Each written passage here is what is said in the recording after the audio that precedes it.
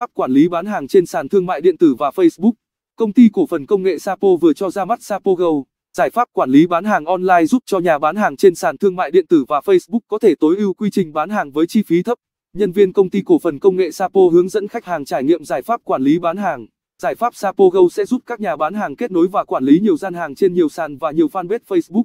Điểm đặc biệt nhất của Sapo Go, đó là chỉ cần khoản chi phí thấp, các nhà bán hàng có thể quản lý tất cả các gian hàng online tập trung tại một nơi duy nhất, giúp tối ưu nguồn lực khi bán hàng online, gia tăng trải nghiệm mua hàng của khách.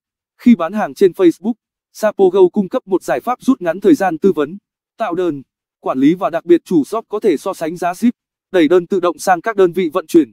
Sapogo hiện đang kết nối với 8 đơn vị vận chuyển uy tín như Viettel Post, Vietnam Post, giao hàng nhanh, giao hàng tiết kiệm, Boxby, Grab, Ahamove, Sapo Express.